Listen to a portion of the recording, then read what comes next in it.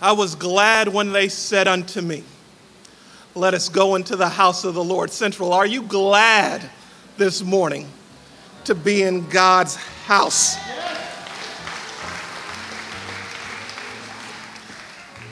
Let me begin by, first of all, commending all of you for being here this morning. I, I know that there's a beach somewhere, a resort somewhere that you could have been on, but you chose to be in God's house this morning, and for that you should be commended.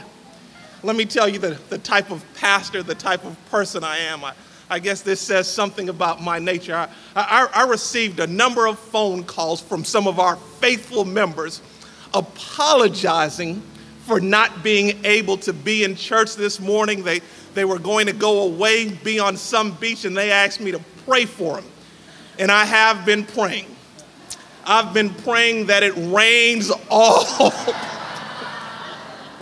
weekend. So thank you for being here this morning. I, I would also like to thank you, those of you who gave and, and those of you who volunteered at our backpack giveaway this Thursday. We had prepared to give 50 backpacks, but because of the demand, we gave away some 59 backpacks. Am I right with my numbers, Sharada? This only goes to show that there is a demand for service, even in a community as presumably wealthy as the Upper West Side. And we, Central, are accomplishing and fulfilling that demand. So, again, you should be commended. This morning, I'd like to begin a series called Hand Me a Brick. It, it, it's about building, building our lives and building a future for this church. Really, the impetus for this series is that we need money. Somewhere down the line during this series, I'm, I'm going to ask that, that each of you give sacrificially to a capital campaign that we're starting in the month of October. Even now, I want you to begin to pray about what God would lay on your hearts. Uh, this capital campaign is, is designed to rebuild some as- certain aspects of this facility. There's some deferred maintenance that we need to take care of immediately. Now, now I already know what, what most of you are thinking. Capital campaign pastor is going to be preaching about money. I don't want to be around for this.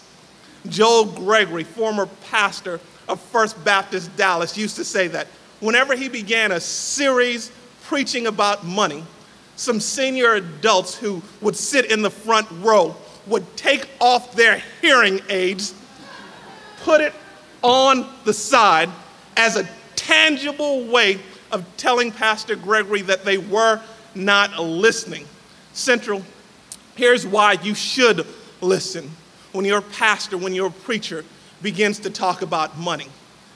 There is no other thing that determines your level of spirituality quite like your spending habits. If you want to determine whether or not you're a mature Christian, simply look at your bank account. Simply tell what you're investing in. And, and this is not just John speaking, this is what Jesus says about the, commit, uh, about the connection between our resources and our spiritual lives. If, if you don't believe me, I invite you to turn in your Bibles to the sixth chapter of Matthew's Gospel, Matthew chapter 6. And for the purpose of our discussion this morning, we will be reading and reviewing together verses 19 through 21, Matthew chapter 6. When you get there, announce that you've arrived there by saying amen.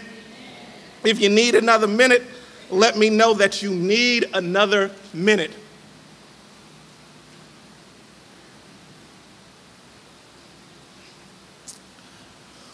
Matthew chapter 6, verse 19 through 21.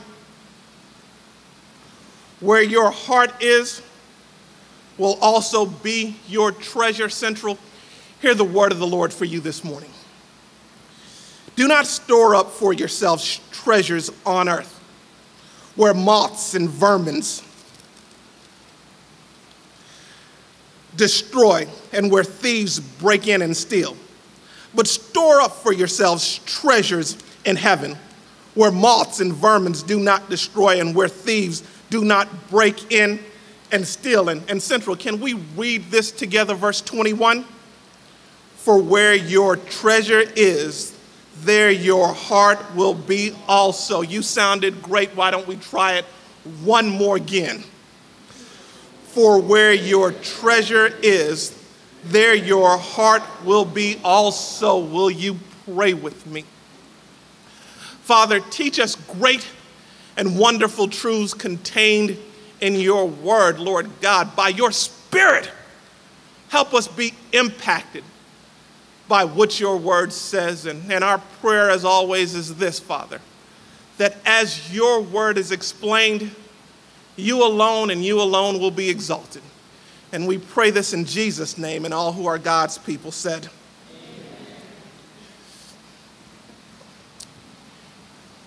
it is referred to as the practice of heart burial. Heart burial is where your heart, after you die, is removed from your body and placed in a strategic location that you have requested. We don't practice this anymore today, but it was very popular and common in the ancient world all the way up to the 13th century. Heart practice, heart burial rather, came into vogue because of the belief that the heart was the seat of the emotions. The heart is, is where your affections, where your desires, where your love lied. And because your heart contained your affections, as a tangible way of showing where your affections truly were. You would ask that your heart be buried in a strategic location. David Livingstone, the famous missionary to Africa, after he died, because he had so much affection for Africa, though his body was buried in Westminster Abbey in London, his heart was buried under a tree in Africa. Crazy horse. You, you remember him from your history books. He, he defeated Custer in Custer's last stand after he was mortally wounded in battle. His tribe took his heart and buried it at Wounded Knee, the site of his famous battle. Chopin, the great virtuoso pianist, had a deep love and affection for, for alcohol.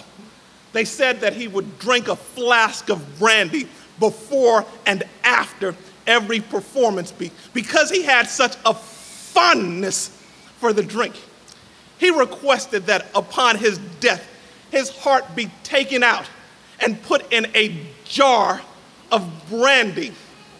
Imelda Marcos woman of 3,000 shoe fame, because her shoes cannot all be buried with her. That's how many shoes she owns. She, she's asked that her heart be buried in her closet. There, there is this tangible connection between your heart and your affections.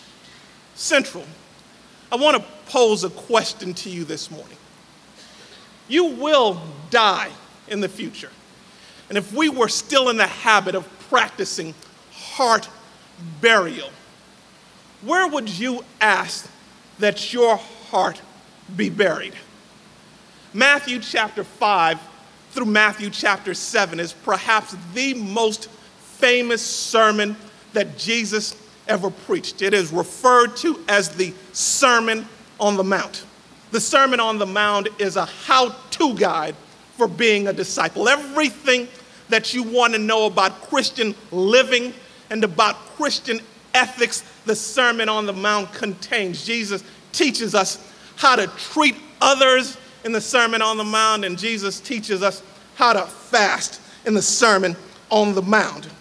Beginning in Matthew 6, verse 19, Jesus in the Sermon on the Mount will have something to say about how a disciple should view material goods. The, this something to say that Jesus says in Matthew 6, verse 19, really starts off in, in the model prayer that comes before this section.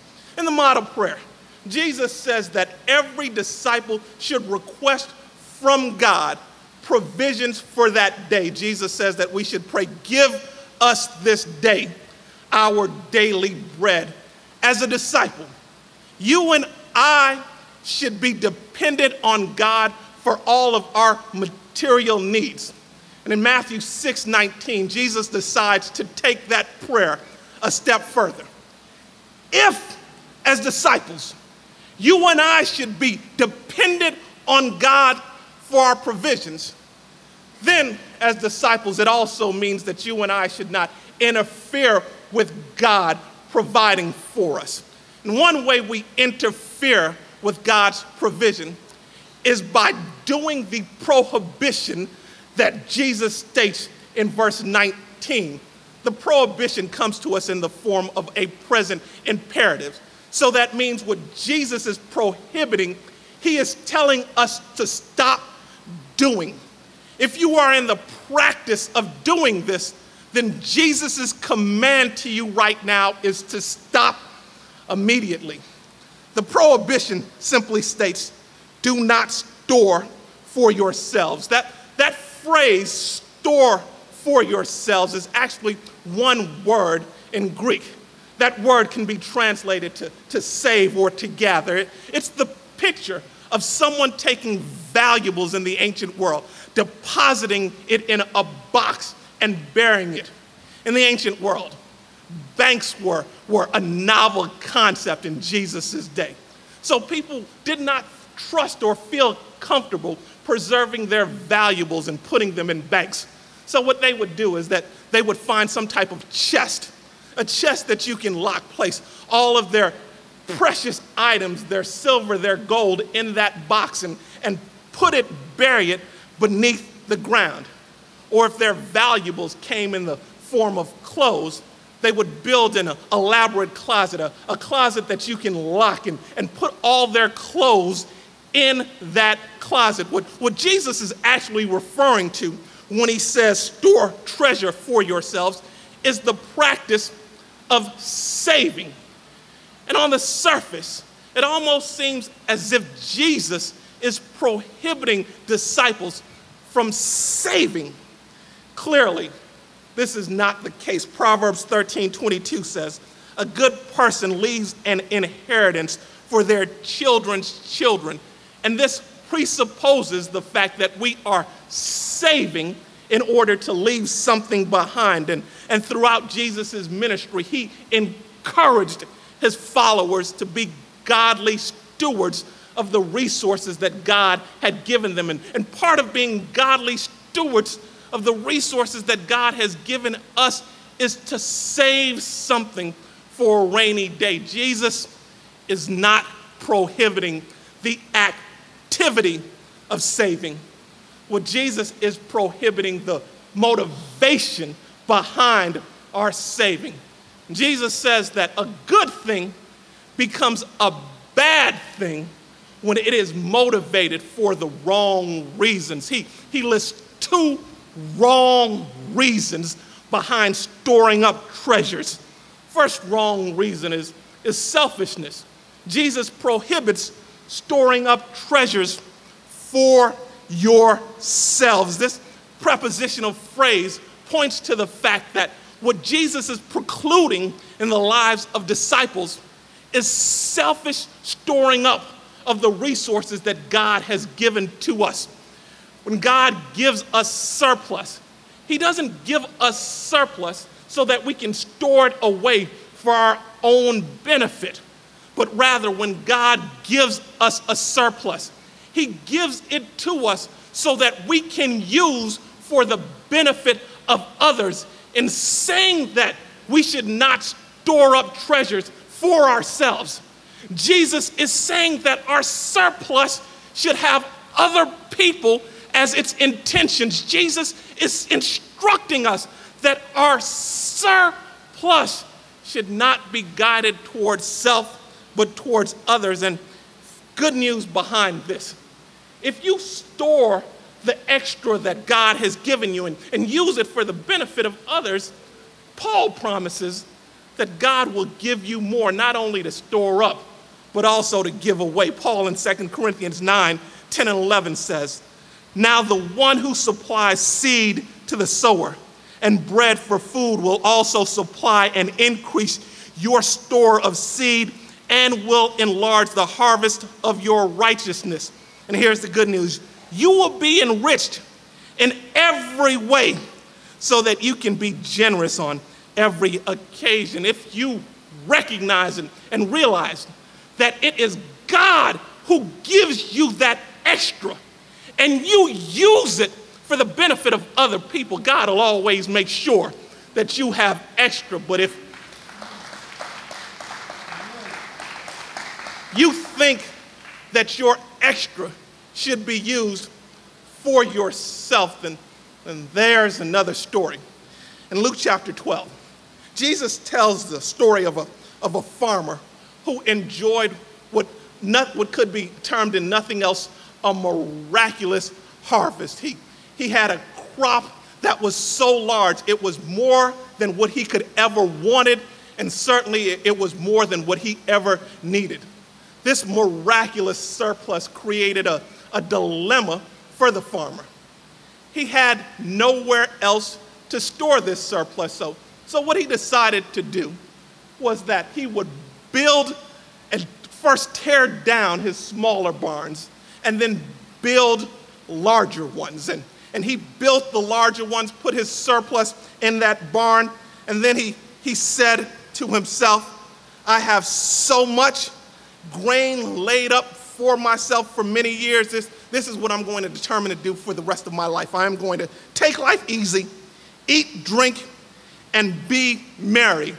That was the farmer's plan for himself, but, but God had other plans for the farmer. Jesus, in the story, tells us that very night that he decided to store up his surplus for himself, God decided to take his life.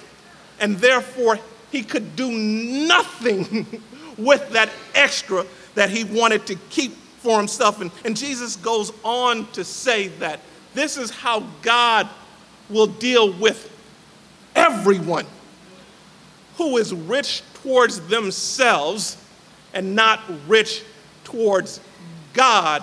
What Jesus is prohibiting is selfishness, not saving.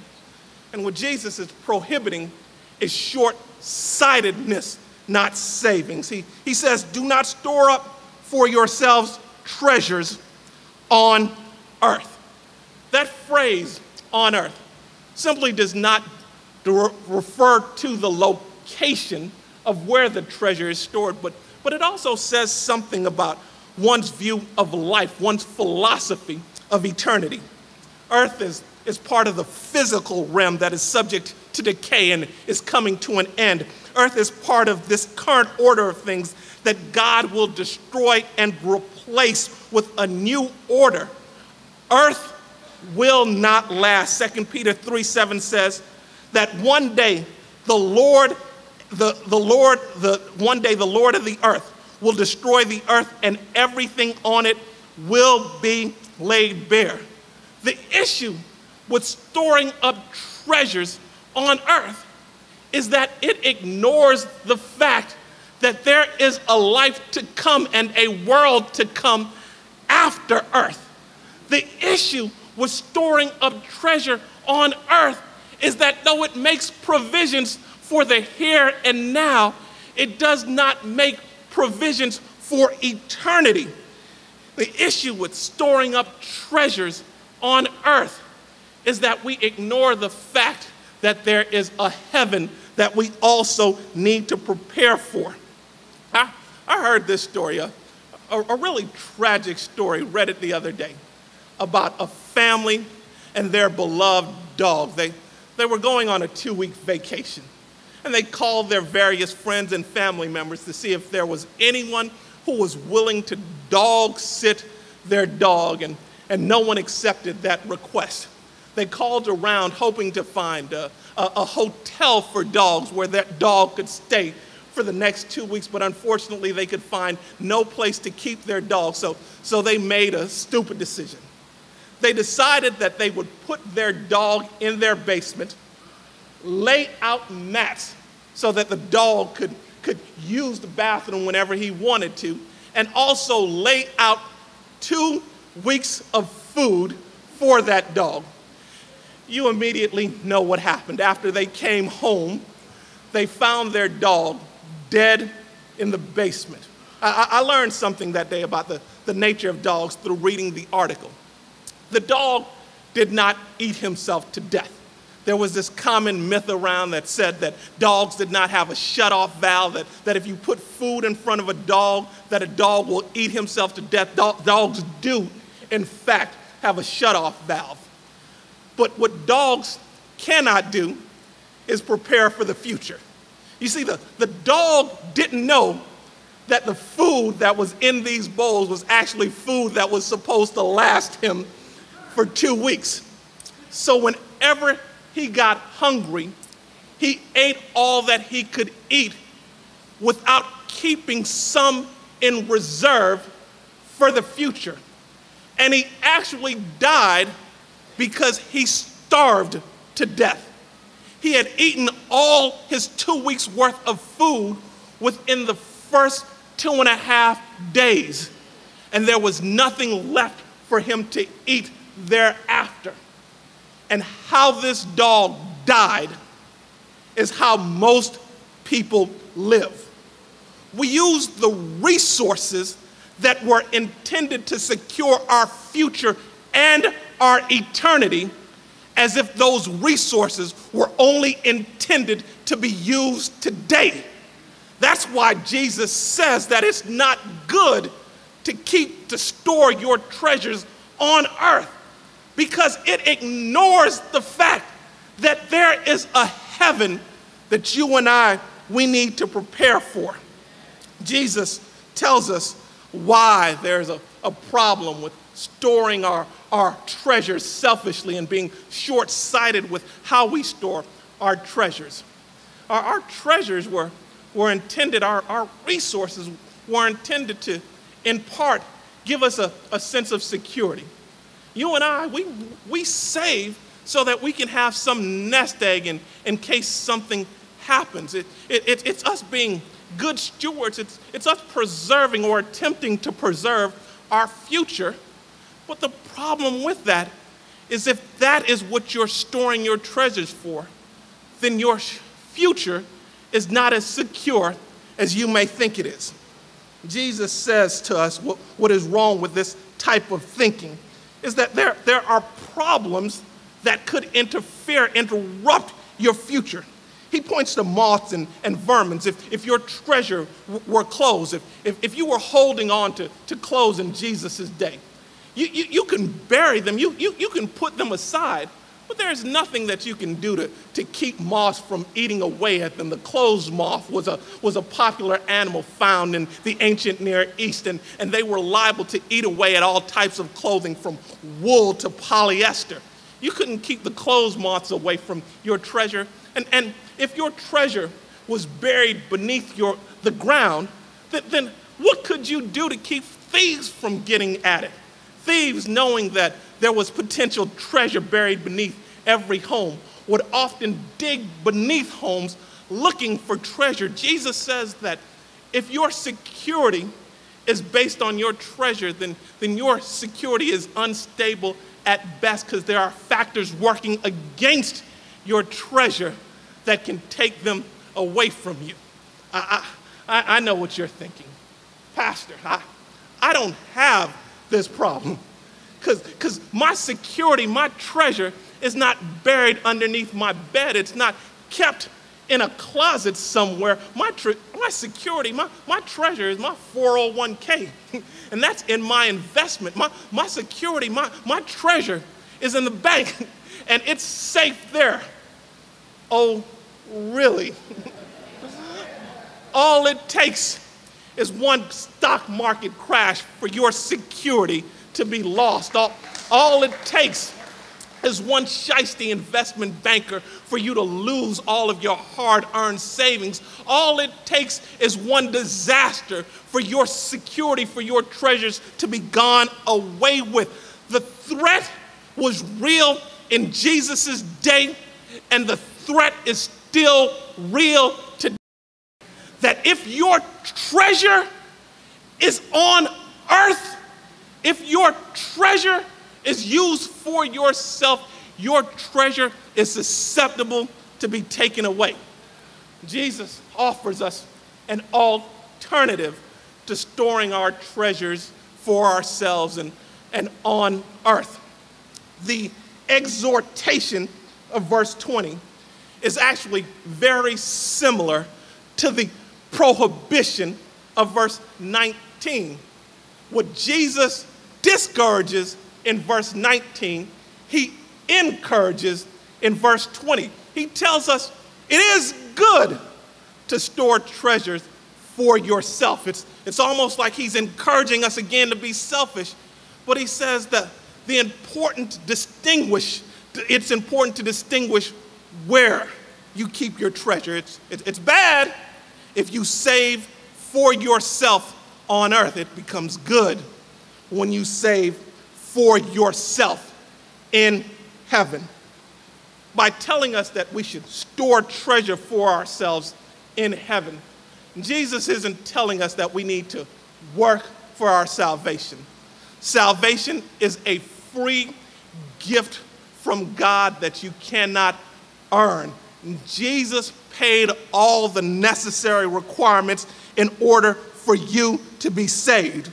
But what Jesus is telling us is that even though we are saved, we should still be working for the approval of God so that we can receive tangible rewards in heaven. In Matthew 19 21, Jesus challenged the rich young ruler to give away all of his possessions to the poor so that he would have treasure in heaven. Treasure in heaven is the disciples' work of gaining God's approval through good works. Heaven, treasure in heaven is stored by committing to the priorities of Christ. We invest in our heavenly bank account when we do the things that Christ commands us, when we forgive the undeserving, when we love the valueless, when, when we seek reconciliation with, the bro- with our offended brothers. These are the very things that Jesus says in the Sermon on the Mount will secure for us a great reward in heaven. There is a, an implication, a clear implication that comes from verse 20 that God sees what you're doing, that God is aware of what you're doing, and that God will reward you based on what you're doing. Even if no one else ever says thank you, even if no one else ever shakes their hand, and even if you gain, you never gain the approval of others, God sees the hard work that you do. God sees how you love others. God sees how you forgive. God sees how you attempt to reconcile with others. And, and God says that whenever you do those things, you are investing in your heavenly bank account. So, so keep praying, keep forgiving, keep reconciling, keep loving, because your work does not go unnoticed. And more importantly, your work will not go unrewarded. Storing treasure in heaven requires two things it, it requires awareness and activity. It means that you have to be aware that there is an eternity for you to strive for. And you have to be active so that your place in eternity is secured. Even if no one else recognizes what you're doing, you need to continue to be active and aware of your future goals. Bryan Loritts tells this story. He was watching Tiger Woods during a practice round when Tiger Woods was Tiger Woods, when he was the best golfer in the world. It was on the Augusta National Golf Club. And for those of you who are familiar with golf, Augusta National is the site of the most famous golf tournament in the world, the Masters. It was during the, the week, uh, a Tuesday, when Tiger was practicing for the tournament beginning that Thursday. Now, most golfers can aim for a flag, and, and when they aim for that flag, most professional golfers can get their ball at least within 20 feet of the flag, at least within 20 feet of the flag. But throughout his round, Tiger kept missing the flag by 30, 40, sometimes by 50 feet. And after every shot, he would miss the flag by, by several feet. He would turn around and high five his caddy as if he had just hit the greatest shot in the world. His playing partners that day, they were hitting the ball and coming within feet of the flag, and, and Tiger was missing the flag entirely. But after every missed shot, he was turning around, high fiving his caddy, and celebrating. One shot during one of the final holes, Tiger took the golf shot and missed the flag by about 70 feet. It was a horrible golf shot. Yet he turned around, hugged his caddy as if he had just hit the greatest shot in the world. Bryan says he was confused until someone explained it to him. Tiger, though he was playing a practice round, he was not aiming for where the flag was that day. He was aiming for where the flag would be on Sunday. Now, I, I know may, maybe some of you aren't golf enthusiasts like I am, so, so let me tell you what happens on Sunday. Sunday is the final day of the tournament. Sunday is where the champion is championship is given. Sunday is where the champion is crowned. Sunday is the day they write your name on the trophy. Sunday is the day they put the green jacket on you. Sunday is the day you go down in history. Sunday is the day you get your reward in the form of a big $1.2 million check. Tiger, though he was playing on a Tuesday, was shooting as if he was living for Sunday. Come here, Central. There is a Sunday in your future. The Bible says that that Sunday will come like a thief in the night, but you'll know it's Sunday because you'll hear the trumpets blast and, and the clouds will open and the Son of Man will come riding on the clouds. And, and on that Sunday, the Bible says Jesus will reward us for the good that we've done. And here's all that Jesus is trying to tell us in verse 20. Even though you're living for today, you should be preparing as if it's Sunday. We should be storing our treasures in heaven. And Jesus, finally, in verse 21, tells us why this is so important. What's the significance of, of storing our treasures in heaven rather than storing our, our treasures on earth? It's, it's, it's not that God is concerned with your money. God doesn't need your money. In fact, even if you were to take all of your possessions and lay it at God's feet, it would not impact God's wealth at all, the Bible tells us he owns the cows on a thousand hills. God is not concerned with your money. In Exodus chapter 20, it gives us the, the Ten Commandments, the, the, the, the constitution for the nation of Israel. And the very first commandment, some would say, would be, some would say the most important commandment, is the one that says that we shall have no other gods before God. And later on and throughout Scripture, God reminds us that He is a jealous God. What Scripture teaches us about God, though, though He doesn't care about your money, what He does care about is your heart. That God desires your affections, that, that God craves your affections, and God wishes that nothing else in your life would compete with your affections towards Him. So, in prohibiting us storing treasures in heaven, what God, what Jesus is, is teaching us is that we should refrain from idolatry because it's idolatry if you value earthly possessions more than you value heavenly treasures. It's idolatry for you to store treasures on earth rather than storing treasures for your eternity in heaven. Let these words impact you again from verse 21. For where your treasure is, there your heart will be also. That Jesus is fighting for your heart. Therefore, he's telling you don't place treasures on earth because if you do, that's an indication that your heart is not towards God and not towards the things of heaven.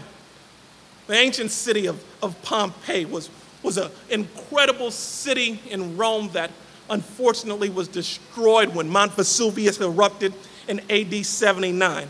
If you ever go see pictures of that site, th- those pictures are incredible. They are surreal and ghastly all at the same time. Of the 20,000 inhabitants of Pompeii, some 2,000 lost their lives. And many of them lost their lives for one reason. As the volcano erupted, those who cared for their lives ran out the city and escaped. But as the volcano erupted, those who cared for their earthly treasures went back into their homes and tried to carry out as many valuables as they possibly could find. And, and one of the ghostly remnants of the Vesuvius eruption on the very site of the excavation of Pompeii is this stone statue of what looks like a woman who had a box of treasures in her hand. She, she died because she went back to her house to get her stored box of jewelry. Jesus reminds us that this earth is coming to an end, and you don't want to go the way of this woman who heart was in her treasures and because of this, she ran back into her home to get a few trinkets, and by doing so, she lost her life. Don't bury your treasures on this earth, bury your treasures in heaven, and God will keep it safe for you until you get there. Will you pray with me? Father God, I do thank you for your word, Lord God, and and I do thank you for the challenge that you've given us in your word, Lord God. Help us not to value the things of this earth so much so that we die with them when this earth is destroyed. But Lord God, help us to lay our treasures in heaven. And in doing so, both our treasures and our lives will be secure. Now we give this time over to you, Lord God, and, and we pray that through the power of your Spirit, you would convince someone to begin to store treasures in heaven by committing their lives to Jesus. And, and we pray this in Jesus' name. Amen.